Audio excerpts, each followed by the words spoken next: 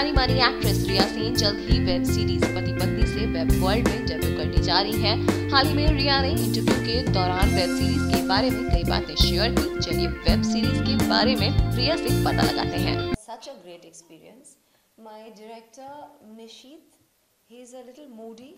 Because he's he just like he was focusing too much on the actor. But by the end of it, he became, he warmed up towards me, and he also gave me a lot of importance in the series. So I'm very, so? very, very happy. I had a great time in Mathura. My producer, both of them are producers. They are lovely people.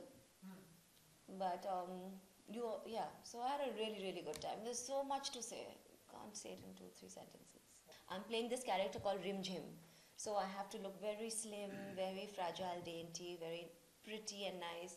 But he kept saying that I'm too fat, don't eat so much, don't eat so much. Actresses don't eat so much. Actresses should be health conscious, they should be diet conscious, mm. they should control their food. Are you talking I said, but you know, at the end of the day, we were, we were here for like one month shooting in Mathura. I'm human. I like to eat. We have to eat, right? Actresses are also human beings, right? They're not langurs, they're not monkeys. So I was all I wanted to eat. I enjoy my food, and I'm Bengali. I love eating. So every time I ate, they had a problem. But that was the only di- difference that we had. Otherwise, everything was smooth sailing. मेरे तो इसको shoot करने के लिए GoPro लगाया था तो जैसे ही गोप्रो लगाया तो बंदर भाई साहब आए और गोप्रो लेके भाग गए भाग गए तो पूरी टीम उनके पीछे हाँ उनके पीछे वो अ, अमरूद लेके मिठाई लेके तो भाग रहे हैं उसके पीछे कि वो वापस आ जाए तो फाइनली बड़ी मेहनत के बाद उसने उसको खाने वाने की कोशिश की उसको फिर एक पॉइंट पे उसको लगा कि नहीं है उतनी काम की चीज़ नहीं है तो उसने फेंक दिया। तो फाइनली पर वो भी बहुत तेज होते हैं। फेंका उसने ज़रूर बट ही वाज वाचिंग कि बहुत सारे लोग इस पे ध्यान दे रहे हैं। तो he came back before langoon or the monkey? he came back picked it up and ran again. तो वो दोबारा उठा के भाग गया। फिर काफ़ी ढूँढने के बाद क्योंकि बहुत छोटा शहर है और लोग न्यूज़ भी बहुत जल्दी ट्रैवल करते हैं तो we got हमारी टीम ढूंढ रही थी तो किसी ने बुला के दिया कि ये बंदर यहाँ फेंक गया था। तो उस हिसाब से लोग बहुत अच्छे हैं शहर बहुत प्यारा है और एक आई थिंक इनके लिए वो एक एक्सपीरियंस बहुत यूनिक रहा होगा। क्योंकि इस तरह के छोटे शहर में आप बहुत हाँ और हम एक महीना रुक के आए वहाँ पे। और बड़ा हिस्टोरिकल है ना तो गलियाँ तंग है लेकिन आप दाएँ बाएँ किधर भी निकल जाएँ आपको लगेगा कि सब कुछ इतना देखने लायक है।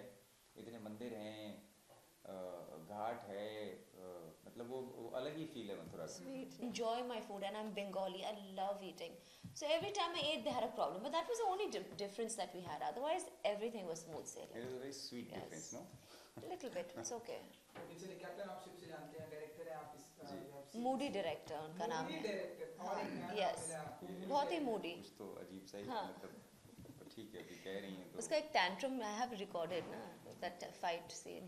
हम्म, so मूवी डायरेक्टर जी आप कुछ मतलब बताना चाहेंगे ये क्यों आप इनके पीछे पड़ गए थे कि फैट बढ़ाना है क्योंकि पति पत्नी दिखाना था इसलिए वो नहीं, नहीं, नहीं। पत्नी और वो देखिए इनको तो मुझे लगता नहीं कि किसी तरीके की डाइटिंग की ज़रूरत है बिकॉज़ ये जेनेटिकली ब्लेस्ड हैं काफ़ी he's talking about तो himself.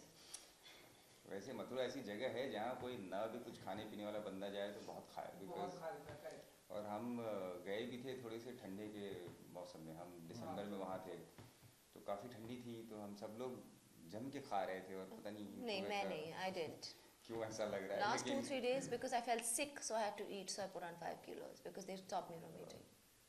You can tell them. I, I think today the media is very broad broad minded. They're not going to um, misread this. They're going to understand exactly. Yeah, yeah, yeah. Nowadays times have changed, right? Everyone, like every figure, every kind of body is accept, acceptable, and that's the way it should be. Bollywood की updates और gossip news के लिए माया पूरी cut subscribe करना ना भूलें और हमारे अपडेट्स जानने के लिए बेल आइकन ज़रूर प्रेस करें